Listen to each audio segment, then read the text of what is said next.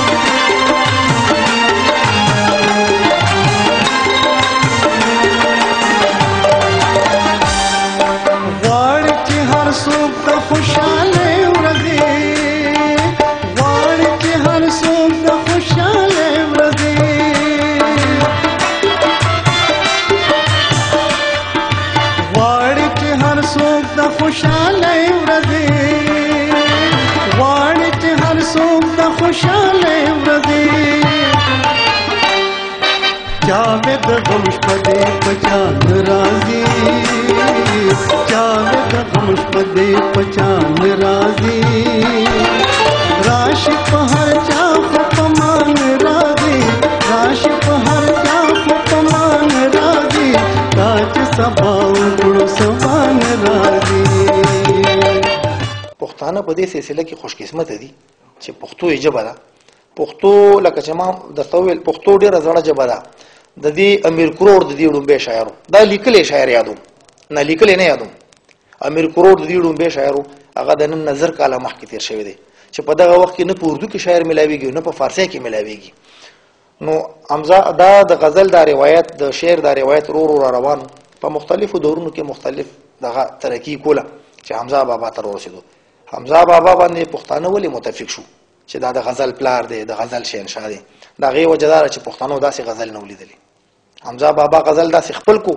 چې زما خیال نه دی که په دې باندې څوک دا ګومان وکړي چې دا به د بل ځای نه اخیستی پښتون غزلې ویلو حمزه بابا هم پښتون او پښتو له زور ورکو او مغه پګړې پکې یاده کا جرګې پکې یاده کا بلکې زمونږ ټول روایت پکې زیګ په بل فیلډ کې ماته څوک خو چې پښتانه په دې خبره متفق شوي چې را دا سړی په مونږ ټولو کې اول دی په غزل کې ولې ویل پښتانه مجبور شو په دغه دور کې د بابا نظریاتي مخالف هم وو د بابا ذاتی مخالف تعصب بم وی او دا په شاعرانو دیبانو کې خدا اثری دا چشمه کم ډیری خو د بابا غزل دومره جاندارو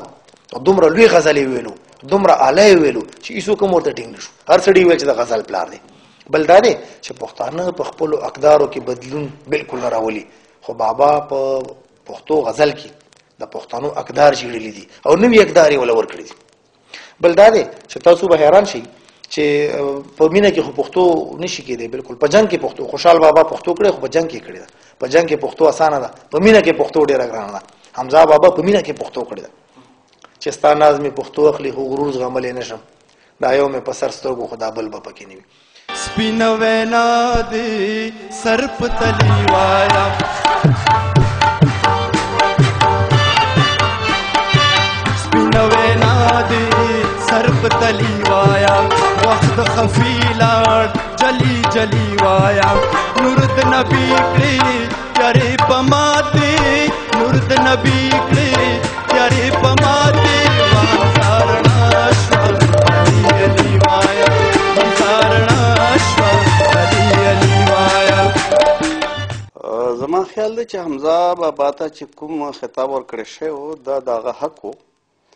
حمزه بابا چې په شلمه صدۍ کې چې هغه ته موږ یو جاینټ ویل شو د غزل شهنشاه ورته ویل شو هغه چې په شلمه صدۍ کې په غزل کې کومه تجربه وکړلې هغه چې غزل څومره فراخه کړه د غزل لمن څومره ارته کړه زما خیال دی چې په دې صدۍ کې هم دا توقع نشو کولای چې دا څه بل حمزه وراشي اصل خبره ده چې هغه د تصوف ګرامه ګرانې نه ګرانې پیچیده مسلې په غزل کې دومره په اسانه راوستې لکه ته چې ما ته وایې چې د ما نه ځان قربان کړه ځان له ځانه څنګه قربانېږي زه حیران یم دومره په اسانو الفاظو کې تصوف ګرانه مسله بیانول د دامزا کار دی بل خبره ده چې هغه په غزل کې چې کوم پښتون هغه چې موږ ورته وایو فلسفه د پښتنو کومه چې خوشحال خان خټک شروع کړې وه او د باقاعده یو شکل هغې ته ورکړ زما خیال دی چې دا بل چا نه ده کړې او بیا صرف د پښتون فلسفه نه هغه علامتونه چې هغه کوم استعمال کړي دي هغه علامتونه چې کوم دي بل چا په غزل کې په دغه دور کې نه دي استعمال کړي ورسره ورسره چې هغه کوم سنتونه په غزل کې راوستي دي او کوم هغه تغزل دی زما خیال دی چې بل څوک سوال نه پیدا کېږي چې داسې تغزل دغه په غزل کې راشي یا زما چې څومره دغه مطالعه کړې ده هغه دا چې هغه په شعر کې د غزل په یو شعر کې اوله یوه خبره کړې ده بیا دویمه مصرع چې راوړې د هغې دلیل یې پیش کړی یعنی د هغه په غزل کې چې کوم هغه یو استدلالي کیفیت دی دا هم د بل چا په غزل کې نشته حمزه چې کوم غزل شروع کړی و هغه غزل خطره ده چې حمزه سره ختم حمزه بابا یو ګڼ اړخي شخصیت لرلو داغه د شخصیت مختلف رخونه وو چې پاغه کې یو دلچسپ رخ دا هم دی چې هغه سپورت سره ډیره زیاته دلچسپي لرله حمزه صاحب یو ډیره لوی هستی و او ښه شاعر ښه ادیب ښه حکیم او ښه کمیاګر و د ده څو څو خاصیتونه وو په دغه کې د لوبو خاصیت چې و د شطرنج ډېر زیات خوښ و او دا شطرنج به د چې اول به د ناظر سره کو ناظر استاد سره او بس تقریبا د ماښام به راغی ماخوستن مانځه نه پس ته به دوی په حجره کې سره شوري شو تقریبا نیمه شپه به تر ناظر صاحب ته خیبر استاد به راته د جم نه او چې بیا به دا دواړه نو